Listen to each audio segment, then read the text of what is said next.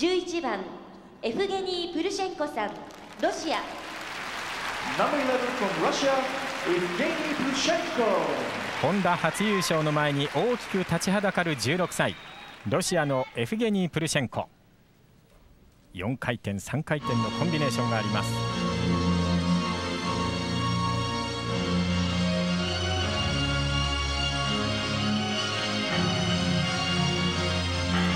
グランプリシリーズカナダ大会はその4回転3回転で制しました。立ち上がりその大技です。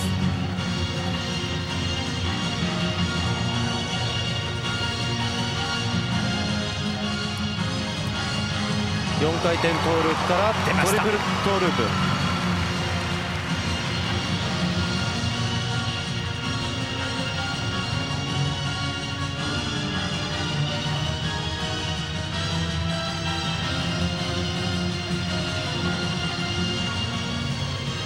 して。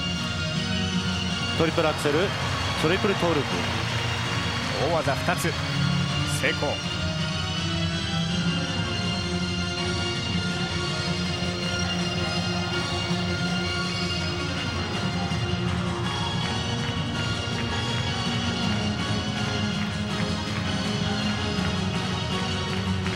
トリプルループ。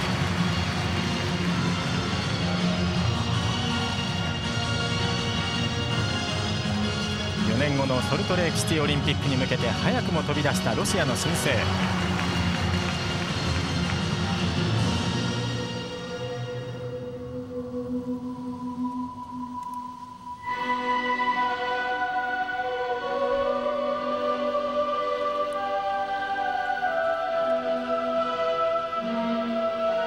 得意のビールマンスピンは演技の最後です。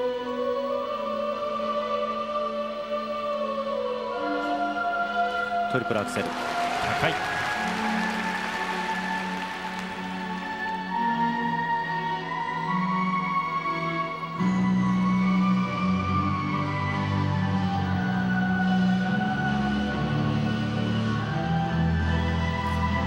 トリプルルッツからダブルフリップ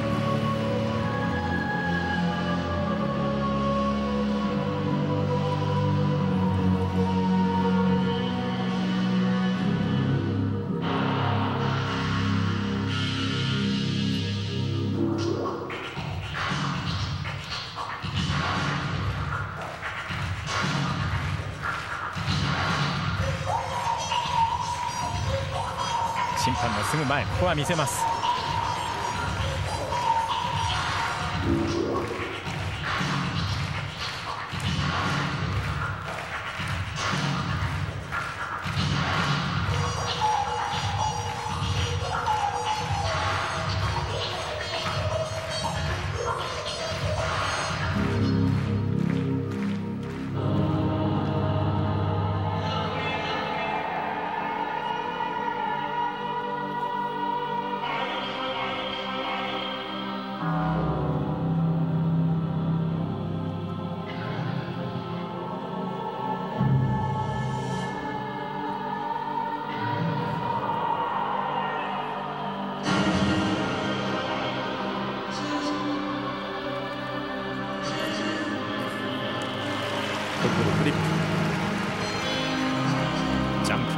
成功。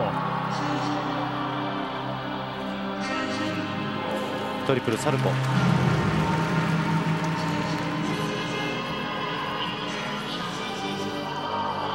出ました。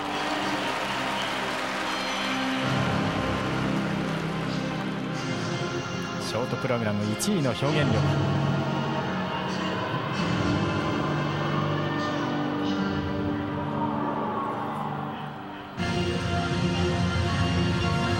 フィニッシュです。ここからの速い動き。観客を沸かせます。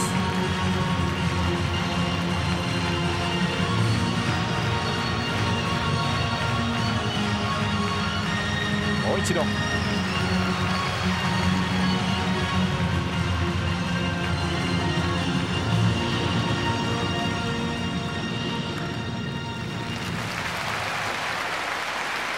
質のの高い演技ロシアエフゲニー・プルシェンコ。4回転3回転のコンビネーションを含むジャンプパーフェクト。16歳とは思えないスケーティングでした。いや素晴らしかったですね。あの技術もねあの非常にしっかりしてますし、それからまあ何よりもあのジャンプが正確なのよくわかりますね。そうですね。あのランディングポジション見てますとねよくわかるんですよ。ブレがないんですねでそれともう一つはあの精神的にすごい強いですね。中国の選手が4回転3回転を決めてで本田選手が4回転を飛んで、えー、それでもこれだけできるというね。これが最初のその4回転と3回転。でこの決してあの4回転だけではなくてですね、まあ、トリプルアクセル、まあ、これもそうなんですけれどもその他のトリプルジャンプもですね、はい、回転軸がものすごいしっかりしてるんですね。ぶれませんものね、はい、ここです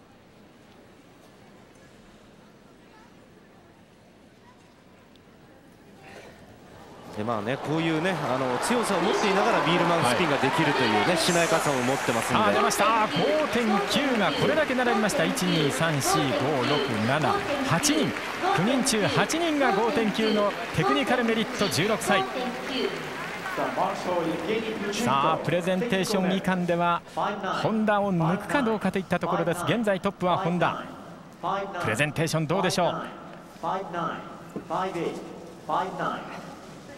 プレゼンテーション。出ました満点。6点が出ました。あとはすべて5.8以上。5.9が1234 5人6人。6点満点が出ました。ああ本田もこうして笑顔を見せています。実は2人は非常に仲良しです。そしてこちらリ。この時点でエフゲニー・プルシェンコ NHK 杯初優勝決定です。日本の本田武史。初めて4回転を飛びましたが第2位。